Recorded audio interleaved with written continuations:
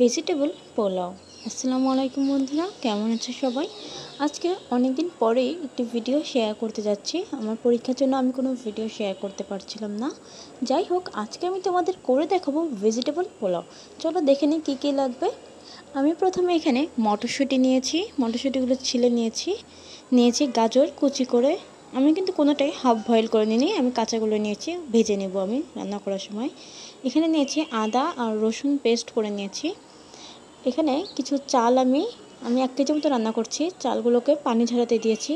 ধুয়ে পানি ঝরাতে দিলে চালটা সুন্দর হয় এবং ভাতটাও ঝরঝরে হয়। এটা কিন্তু একটা টিপস বলতে পারো। যাই হোক, এবার একটি কড়াইয়ে আমি তেল দিয়ে দিচ্ছি পরিমাণ মতো।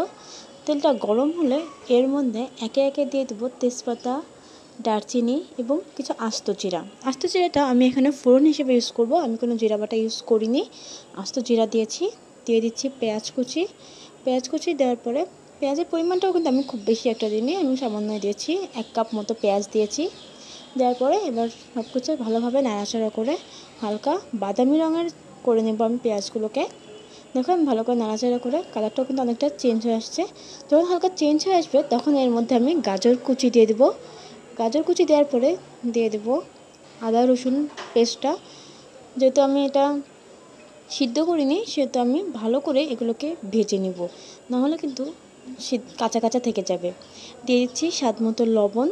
লবণ দেওয়ার পরও ভালো করে নাড়াচাড়া করে নিচ্ছি আমি ভাজিটাকে। ভাজিটা যখন হালকা কালার চেঞ্জ হয়ে আসবে, তখন এর মধ্যে দিয়ে দেবো যে চালটা আমি ছেঁকে রেখে দিয়েছিলাম। ভালো করে ধুয়ে পানি ছেঁকে রেখেছিলাম।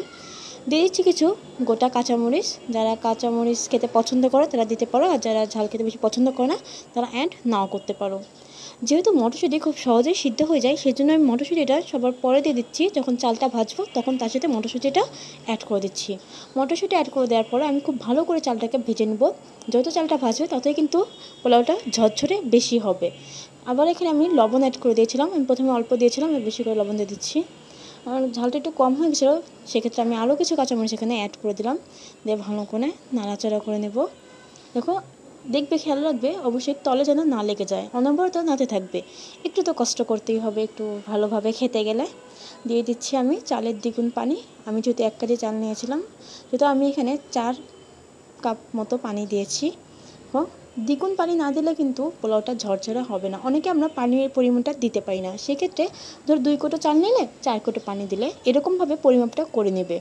দেখো, আমার ভাতটা অনেকটাই সিদ্ধ হয়ে গিয়েছে আমি নাড়াচাড়া করিনি মাঝখানে। হয়ে গিয়েছে ভাত।